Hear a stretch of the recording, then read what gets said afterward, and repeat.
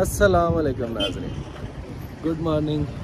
आज हमने अपना सफ़र शुरू करने के लिए जो प्लान बनाया है, उसमें सबसे पहले हमने सुबह उठ के नाश्ता किया है और होटल चेकआउट करने के बाद अभी हम ये खोनिया में हैं, मौलाना जलालुद्दीन रोमियो के मज़ार पे हम जा रहे हैं।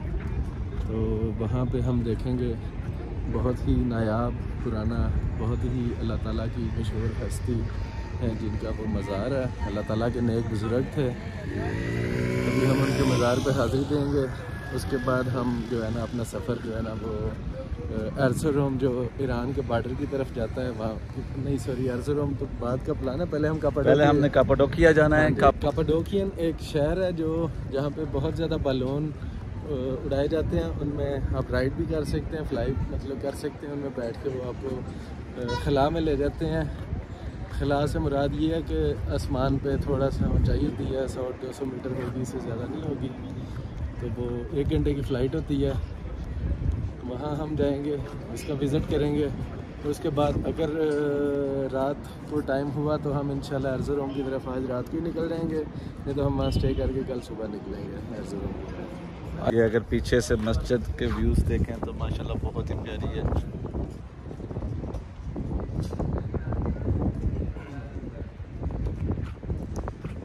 तुर्की में आके अगर सबसे अच्छी चीज़ें देखी हैं तो मस्जिदें देखी हैं। मसाजिद इन्होंने बहुत अच्छी बनाई है। इसमें कोई शक नहीं तो फाइनली हम जो है मौलाना रूमी साहब के दरबार पे पहुँच आए हैं। कुछ लोगों ने बताया कि ये म्यूज़ियम है, कुछ लोगों ने बताया कि ये दरबार है। यही मज़ार है उनका। लेकिन फाइनली काफ़ी लोगों की डिस्कशन के बाद हमें बताया गया कि यही ओरिजिनल है। इसके अंदर ही उनकी कवर है और इधर ही म्यूज़ियम भी है। साथ ही उन्होंने छोटा सा एक सिक्योरिटी पॉइंट बनाया हुआ है और टिकट इसका नहीं है फ्री है, क्योंकि जब से तैयब अर्दुगान का हुकूमत आया है, तब से जितने भी ये मस्जिदें वगैरह हैं इनकी ज़्यारतें हैं, सब कुछ फ्री हो चुका हुआ है। पहले इन चीज़ों पे टिकटें हुआ करती थी, लेकिन अब ये सब कुछ फ्री है। मज़ार देखने में, माशाल्लाह, बहुत ही प्यारा स्ट्रक्चर ही, इसका बहुत ही प्यारा नज़र आ रहा है। बाकी हम अंदर जाके देखते हैं।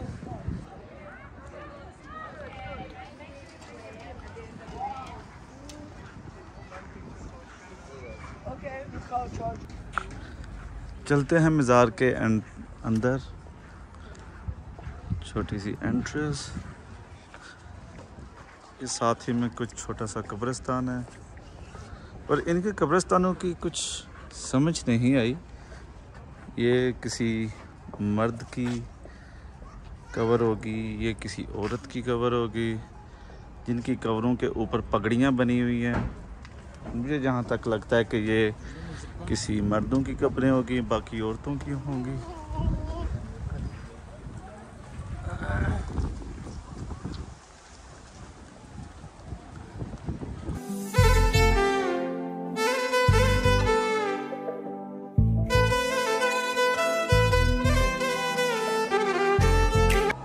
अंदर से देखा जाए तो ये कुछ उनके कदीम बर्तन टाइप लग रहे हैं।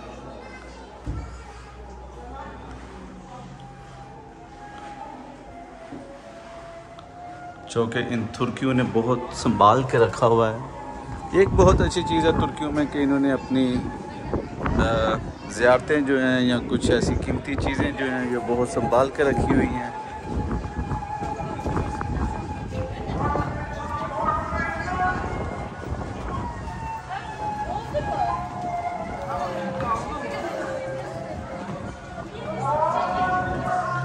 यहाँ पे देखा जाए तो ये कोई कदीम चाय वाले बर्तन हैं, जो नाइनटीन सेंचुरी के हैं।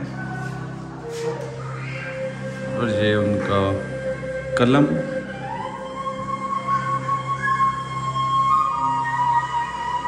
और माशाल्लाह यहाँ पे कुरान पाक भी पड़ा हुआ है, जो एटीन सेंचुरी का है।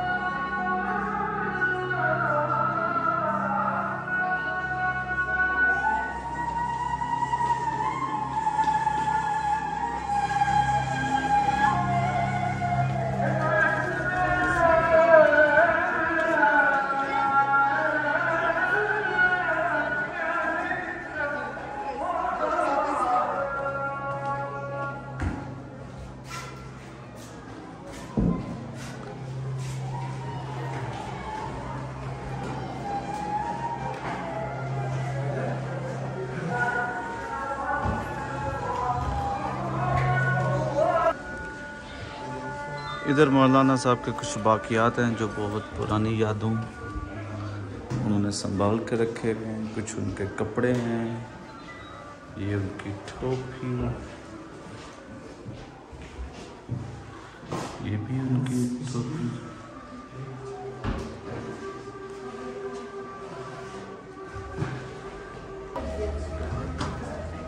मौलाना रूमी के दरबार पे आते ही बहुत सारी चीज़ें जो हमने देखी हैं। कदीम चीज़ें जो हैं, उनमें से एक ये उनकी बैठक हुआ करती थी।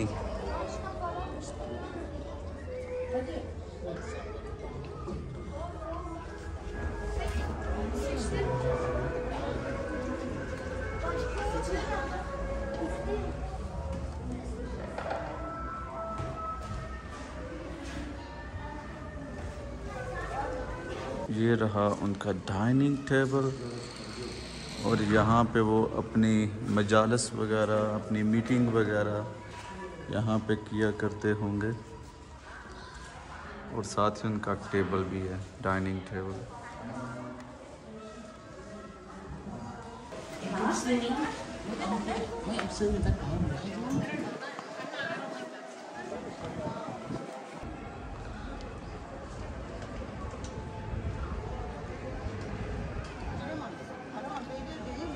tomb of Fatima Khatun जो 1585 में आई थिंक सो बनाया गया है, यहाँ उनकी वफात हुई है। Daughter of governor of Karaman Murat Pasha ये मैंने फ़र्स्ट साइन देखा जहाँ पे इन्होंने कुछ इंग्लिश में लिखा हुआ है।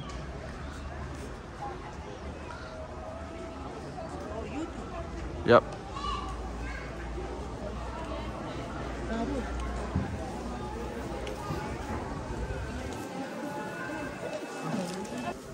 अपने अपने शूज़ के ऊपर शापर चढ़ाने के बाद हम मज़ार मुबारक के अंदर आ गए और यहाँ पे देखा जा सकता है कि काफ़ी कदीम जो है, वो कुरान पाक पड़े हुए हैं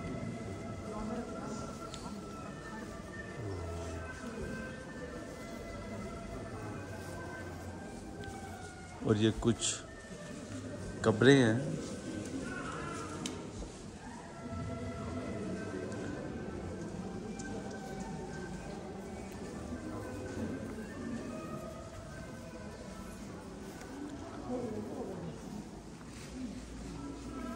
और माशाल्लाह बहुत ही ब्यूटीफुल बना हुआ है।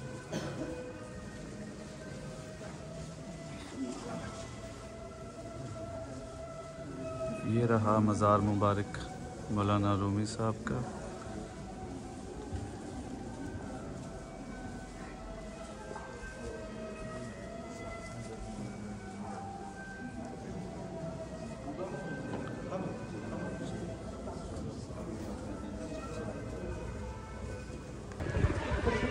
जी, आज के दिन का हमारा विज़िट ये भी थोड़ा कंप्लीट हुआ। मौलाना, हज़रत मौलाना जलालुद्दीन रूमी साहब का है दरबार का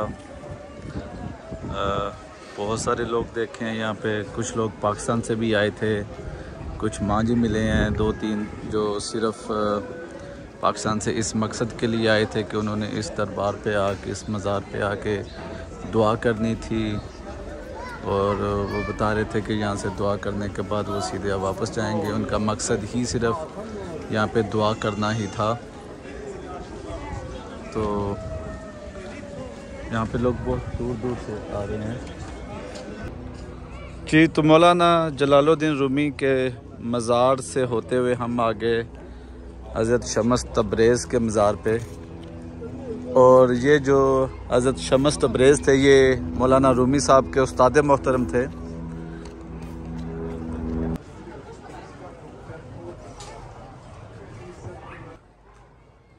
जैसा कि हज़रत मौलाना जलालुद्दीन रूमी साहब इन, इनके शगिरत थे और उनको थोड़ा इलम, थोड़ा अल्लाह की तरफ़ से जो नॉलेज था वो थोड़ा ज़्यादा हो गया था इसलिए उनकी शगिरत को लोग ज़्यादा मानने लग गए थे। उनकी आगे शगिरदी बहुत ज़्यादा हो गई थी। अगला स्टॉप हमारा होगा खापाडोकिया का। खापाडोपिया चलते हैं। बालून की राइड अगर मिलती है तो दैट्स फाइन नहीं तो सिटी को एक्सप्लोर करके नेक्स्ट मॉर्निंग जो है हम अपना सफ़र ईरान की तरफ़ शुरू कर देंगे। क्योंकि आज चौथा पाँचवा दिन है हम तुर्की में ही हैं। क्यों मंसूर भाई? आज चौथा पाँचवा दिन है हमारा तुर्की में ही। तो क्या महसूस कर रहे हैं? जी तुर्की अब तकरीबन कंप्लीट हो गया है। और हमने जो फ़ेमस जगह थी देखने वाली पूरा तुर्की तो नहीं हम घूम सकते, लेकिन जो फ़ेमस सिटी थे और फ़ेमस जगह थी, वो हमने जो है वो देखी हैं विज़िट की हैं। और जो है काफ़ी मतलब हमें जो है वो खुशी महसूस हो रही है कि हम भी खुशकस्मत इंसानों में से हैं, जो वाकई मतलब अल्लाह ताला ने जो वसाइल दिए हैं, उनको इस्तेमाल करते हुए जो यहाँ तक पहुँच गए हैं और इन चीज़ों को देखता है बाकी दोस्तों से भी यही रिक्वेस्ट है कि जिनके पास वक्त हो और हालात इजाज़त देते हों, वो ज़रूर यहाँ पे आएँ, बल्कि फैमिलीज़ के साथ आए और घूमें फिरें देखने वाली चीज़ें लोग तुर्की के बहुत अच्छे हैं और बहुत मिलनसार हैं। हमें कोई ऐसा मसला नहीं यहाँ पे हुआ जिससे हमें कोई तकलीफ़ हो। अस्सलाम वालेकुम जी। तो आज हमने अपना सफ़र कुनिया शहर से शुरू किया है, जहाँ पे हमने पिछली वीडियो में बताया कि हम हज़रत मौलाना जलालुद्दीन रूमी के मज़ार मुबारक पे गए थे। तो अभी हम रास्ते में हैं कापाडोकिया की तरफ़ तो थोड़ी ही देर में हम कापाडोकिया पहुँच जाएँगे। जी। इंशाल्लाह हम अभी थोड़ी देर में कापाडोकिया पहुँच जाएँगे। तो राइड के वाले से मैं बात कर रहा था। राइड अगर तो हमारी लक हुई तो मिल जाएगी। लेकिन मुझे 99.9 परसेंट चांस यही लग रहे हैं कि हमें राइड नहीं मिलेगी। वो दो दिन पहले बुक करवानी पड़ती है। उसके लिए रात को वहाँ स्टे करना पड़ता है। वो होटल से पिक करते हैं आपको सुबह चार बजे। पाँच बजे वहाँ पहली फ़्लाइट जाती है। और एक घंटे की वो फ़्लाइट होती है। तकरीबन आठ नौ बजे तक आप फारिग हो जाते हैं। अब देखते हैं, क्योंकि बलून तो सारा दिन वहाँ पे उड़ते हैं। वो कैसे, क्या करते हैं, हमें बिठाते हैं, उसमें नहीं बिठाते, ये वो हम जाके पहुँचेंगे इन आधे घंटे तक हम पहुँच रहे हैं तो आपको वहाँ जाके फिर आगे मज़ीद मालूम फ्राहम करते हैं। और कुछ कुछ दोस्तों के सवाल होंगे कि आपने पहले क्यों नहीं बुक किया?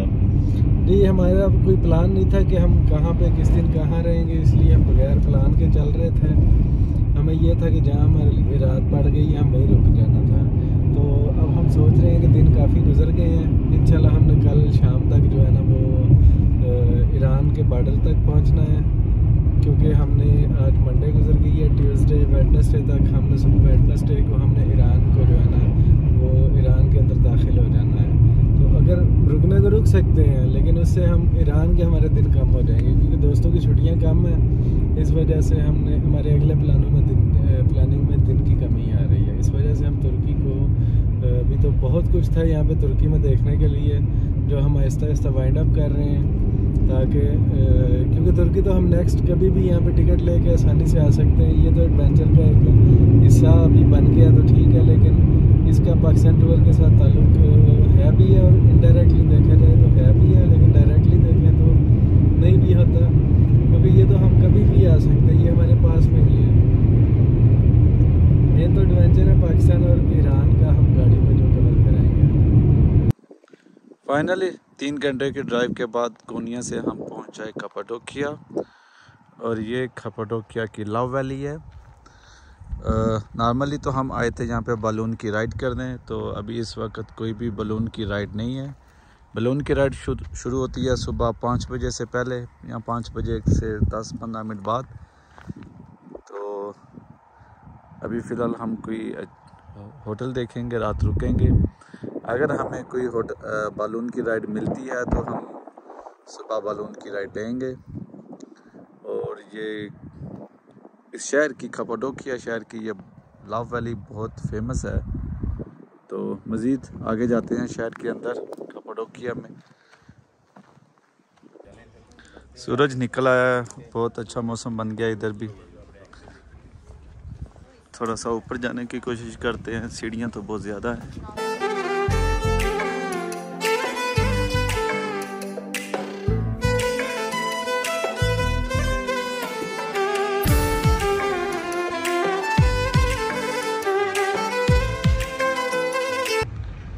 फ़ाइनली आज हमारा दिन ख़त्म होता है कपाडोकिया से।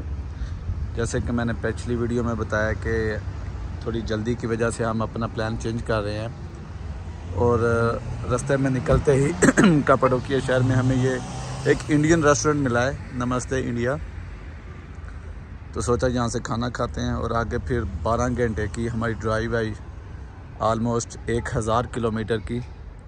तो हम चार लोग हैं तो सोचा है कि आज हम ईरान के बॉर्डर तक पहुँच जाएँ। काफ़ी अच्छा रेस्टोरेंट लग रहा है। देखते हैं अंदर जाके। जैसा कि अंदर से भी बहुत ही शानदार होटल है। साथ ही हिंदी सॉन्ग भी लगे हुए हैं।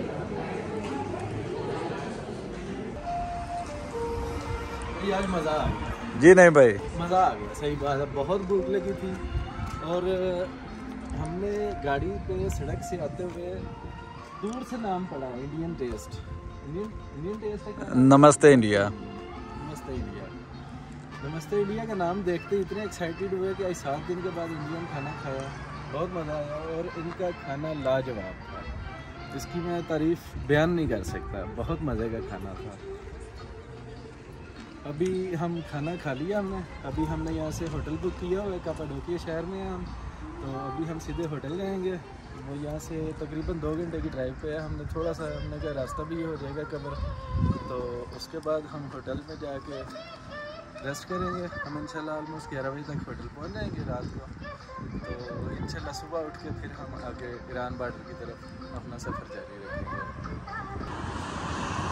जी तो प्लान तो हमारा ये था कि जैसा कि मैं पहले बता रहा था कि हम खपड़ोकिया से सीधे ईरान की बॉर्डर की तरफ़ निकल रहे हैं। लेकिन ड्राइव बहुत लंबी थी 1100 किलोमीटर था।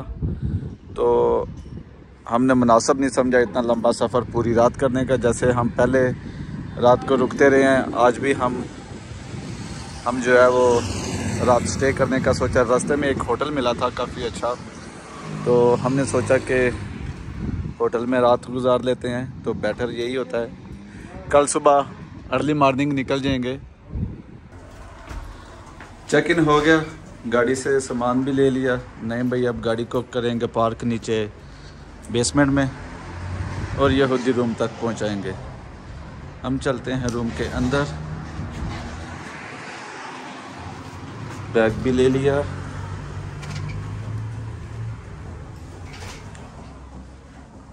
और ये रहा हमारा आज का बाथरूम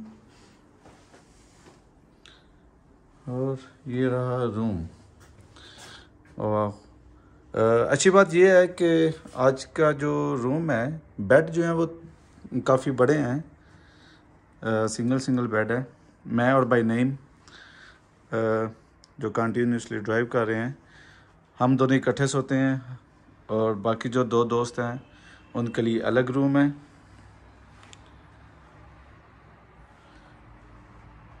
और विंडो से बहुत अच्छा नज़ारा आ रहा है सिवास सिटी का। तो मैं इंतज़ार कर रहा था नईम भाई का तो नईम भाई गया अभी आ गया हम गाड़ी पार्क की है मैंने नीचे पार्क कर ली है। तो अभी हम यहाँ पे रेस्ट करेंगे अच्छे से नींद पूरी करेंगे। तो इंशाल्लाह फिर सुबह नाश्ते पे मिलते हैं। ओके जी नईम भाई। Thank you see you tomorrow